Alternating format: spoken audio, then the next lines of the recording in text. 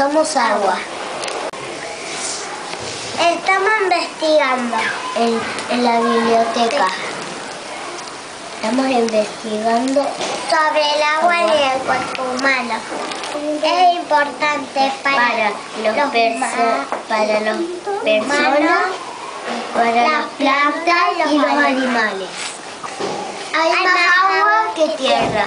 El sol evapora el agua del agua y, y evapora y se y con- condensa y forma una nube y cae.